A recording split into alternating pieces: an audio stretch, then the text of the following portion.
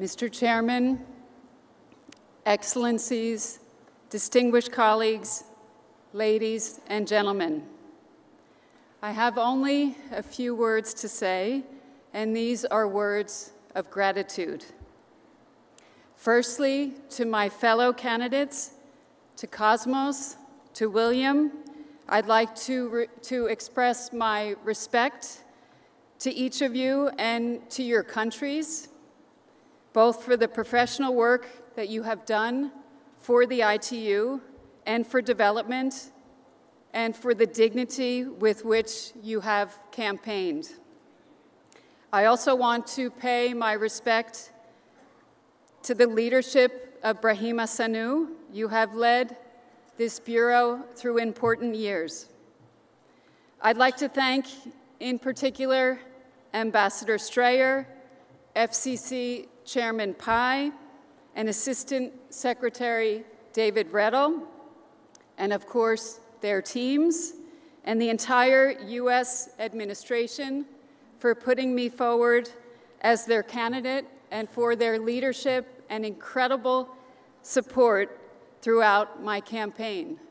I would also, Mr. Chairman, like to express my sincere thanks to the private sector of the United States, which has also been extremely helpful and supportive throughout this process. It really was a team effort. I'd also like to thank my many friends and colleagues from around the world that gave me support throughout this process. I'd like to thank my husband who arrived last night. He was really my rock throughout.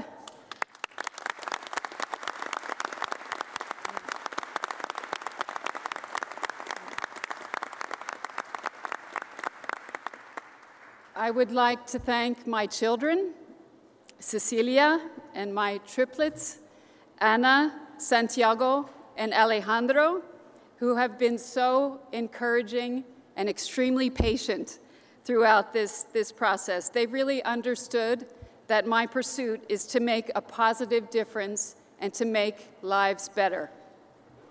That brings me to you, the member states of this great union, I would like to thank you for putting your trust in me to lead the ITU's development work over the next four years. It is a great honor for me and for my country. I have worked for this moment for so many years as my ideas about ICT and development and specifically for the BDT have grown. I pledge to do my utmost to support you in further advancing your digital economies. Having been a staff member of the ITU for almost 25 years, I would like to give a shout out to my team in SPM. You guys are amazing.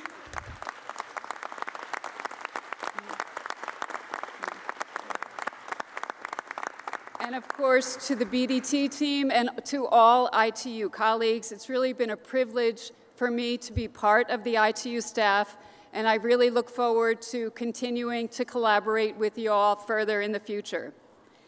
I'd also like to say a few words to my colleagues, specifically in BDT. I worked among you for many years before I moved to the General Secretariat. I believe in our mission, and I believe in each of you individually to your commitment and your creativity. Together, we can step up and make the BDT even more effective for our members. Secretary General Zhao, Deputy Secretary General Johnson, Director Lee, I would like to sincerely congratulate you on your brilliant re-elections.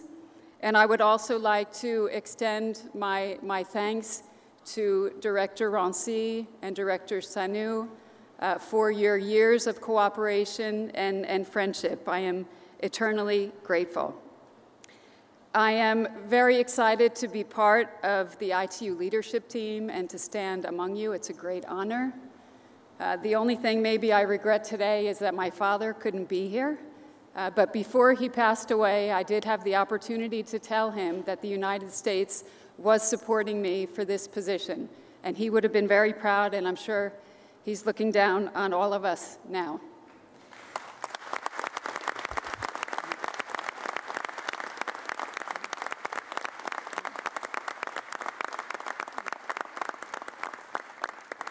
Ladies and gentlemen, today we did make history. We broke the glass ceiling, and I'm so very grateful to you for all of your support, and I look forward to working with you all. Thank you, Mr. Chairman.